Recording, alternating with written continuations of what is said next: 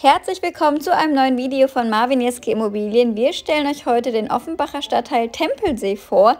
Dieser liegt im Süden von Offenbach und grenzt an die Stadtteile Bieber, Biberer Berg, Karl-Ulrich-Siedlung, Rosenhöhe, Buchhügel und im Süden an den Offenbacher Stadtwald. 1922 wurde mit dem Bau der Siedlung begonnen, in der heute 4400 Einwohner leben. Benannt ist der Stadtteil nach einer alten Mühle, die noch bis ins 20. Jahrhundert durch das Wasser des Hainbachs angetrieben wurde. Tempelsee ist hauptsächlich als Wohngebiet ausgewiesen. Hier findet man eine hervorragende Infrastruktur wie diverse Einkaufsmöglichkeiten, Kindergärten und Schulen.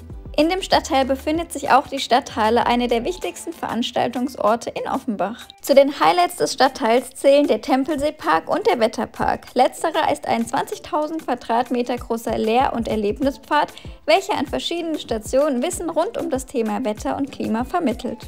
Naturliebhaber kommen außerdem auch im angrenzenden Stadtwald voll auf ihre Kosten. Der Stadtteil ist über verschiedene Buslinien der Offenbacher Verkehrsbetriebe zu erreichen.